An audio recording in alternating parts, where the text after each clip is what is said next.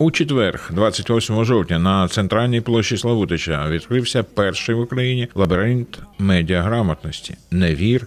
Перевір. У церемонії відкриття взяли участь міський голова Юрій Фомічев, директор відділу сприяння розвитку демократії та врядування регіональної місії Агентства США з міжнародного розвитку USAID, заступник міністра культури та інформаційної політики України, заступниця міністра молоді та спорту України, а також віце-президент з глобальної програми Ради міжнародних наукових досліджень та обмінів ІРЕКС. Відкриття лабіринту медіаграмотності пройшло в рамках глобального тижня медіа і інформаційної грамотності. Чому ми підтримуємо проекти в медіаграмотності, в розвитку медіаграмотності? Ви знаєте, друзі, останнім часом, останні роки ми всі е, зіткнулися з пандемією. Ми вчимось жити по-іншому і дуже багато приділяємо уваги онлайну. І сьогодні наше живе спілкування багато в чому перейшло в соціальні мережі. І ми там спостерігаємо багато різної інформації, цікавої інформації, яка нас захоплює, яка дає нам класні емоції, інколи позитивні, інколи навпаки. А інколи цією м- інформацією просто маніпулюють, створюють абсолютно інше враження, ніж воно є насправді. І можна сховатись за фейковим аккаунтом, можна сховатись за чужим ім'ям, представитись іншою людиною і написати будь-що. Що вигадав, те й написав. І як це розрізнити? Як зрозуміти, де є правда, а де тобою маніпулюють? А все це впливає на наше життя. Сьогодні життя інформаційних технологій, життя комунікацій, і ми дуже від того залежимо. Наш настрій, наша емоція, вона залежить від того, яку інформацію ми отримуємо. І тому дуже важливо критично мислити. Але інколи треба зупинитися і подумати, чи справді це важлива інформація, чи справді вона правдива, а чи не маніпулюють моєю думкою, коли мені пропонують цю інформацію, а чи не нав'язують мені іншу думку, бо в мене є своя. От саме для цього є проект медіаграмотності.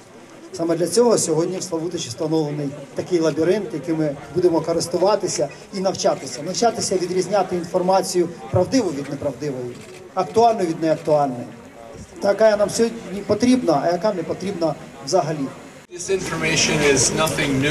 Ми знаємо дезінформація, це нічого нового для нас. Вона була з нами настільки скільки існує історія. Навіть е, згадайте за цю дуже відому біблійську історію, коли а, Змій сказав Єві, будь ласка, дивися, є оце яблуко з їжі.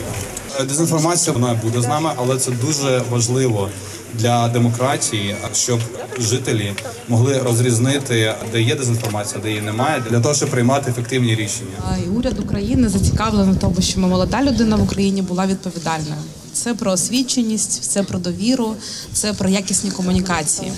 І все це пов'язано з обміном інформацією насправді. І е, ми маємо вміти е, аналізувати інформацію. Ми маємо вмі- вміти розрізняти фейки від правдивої інформації, від маніпуляції, від пропаганди і багатьох інших речей складових інформаційного простору. І саме молоді люди вони найбільше перебувають е, в найбільше споживають напевно інформацію абсолютно з різних каналів. І абсолютно важливо, щоб молода людина вміла е, відповідально і якісно споживати цю інформацію, бо всі ми є як і тра- ретранслятором інформації, і споживачами, і продукуємо її кожного дня. І відповідно е, маємо до цього підходити відповідально. Для Міністерства культури та інформаційної політики тема дезінформації є однією з найважливіших, з чим ми маємо працювати. Напевно, слово дезінформація ні для кого не є новим, і очевидно, ви знаєте, що це проблема. З цією проблемою можна працювати по-різному. І питання до вас: які з трьох варіантів, які я зараз озвучу, є кращим? Перше блокувати ті ресурси, канали, медіа, які постійно доносять дезінформацію, не давати їм можливість брехати в майбутньому. Друге розвінчувати міфи, фейки, спростовувати і говорити правду. Третє вчити всіх, а особливо дітей, медіаграмотності, критичному мисленню, відповідальному споживанню інформації. Що з цього слід робити? З точки зору блокування інформації, держава над цим працює, і ви знаєте, що проросійські телеканали, медведчуківські телеканали були заблоковані рішенням Ради національної безпеки та оборони. оскільки, зокрема, через те, що найбільше неправди лилось з них. Однак лише блокувати і закривати медіа держава не може. Закривати лише там за одну неправду це було б недемократично. Я більше 10 років як юрист, адвокат займався захистом медіа, свободою слова. Є баланс, і тільки в крайніх випадках можна закривати. І власне медіаграмотність, критичне мислення, вчити дітей з найменшого віку, як споживати інформацію.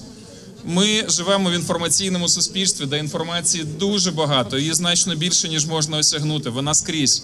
Вміти розрізняти, вміти критично ставитись і розуміти, що багато з цього може бути неправдою з різних причин.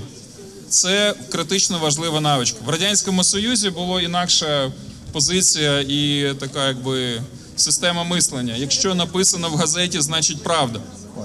З такою установкою жити більше не можна.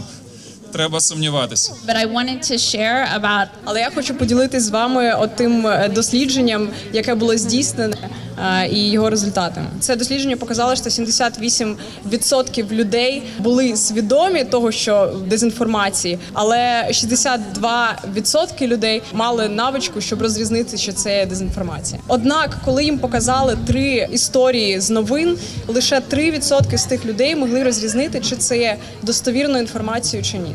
Е, Тож це є проблема, яка має місце не тільки в Україні, але так само, наприклад, в Сполучених Штатах. І на нас всіх покладена ця відповідальність за інформацію, яку ми поширюємо. Поважні гості першими відвідали згадковий та яркий лабіринт медіаграмотності Не вірь, перевірь. Одним з найактивніших у поході лабіринтом був заступник міністра культури та інформаційної політики. Практично в кожній кімнаті він знімав на мобілку плакати, фрази, висновки, що сподобались. Ми теж визначили найцікавіші кімнати та деякі висновки. Відзначили ми куточок з маніпуляції з фото та ілюстрації під назвою Не вірь очам своїм. Звернули увагу на фразу Звикайте шукати факти та перевіряйте їх у інших джерелах. 96% людей сприймають інформацію лише за заголовками. Стереотипи бувають небезпечні. Дуже обережно ставтесь до фрази Всі експерти затверджують. Досить цікавий стенд, популізм та методи впливу, особливо ці лапи, дивани, не драли. Кімната з фейковими новинами. Подія одна, а скільки про неї новин. А поки гості ходили лабіринтом, модератор заходу Тимур Гісматтулін проводив досить цікаві конкурси під назвою Факт чи фейк. Після проходження лабіринту гості отримали довідки про успішне проходження лабіринту медіаграмотності. Міністерство молоді та спорту рекомендує всім відвідати обов'язково цей лабіринт, тому що впевнено ви зрозумієте, наскільки е, важливо думати, що ти говориш, як ти говориш, де ти говориш, з ким ти говориш, і, власне, як ти споживаєш інформацію, як ти її продукуєш, як ти аналізуєш. І взагалі бути поводити себе, відчувати себе безпечно і поводити себе безпечно в інформаційному просторі. А юні славутичани, отримавши на вході до лабіринту невеликі сувеніри та маски, отримали чимало задоволень від подорожі по 12 тематичним кімнатам.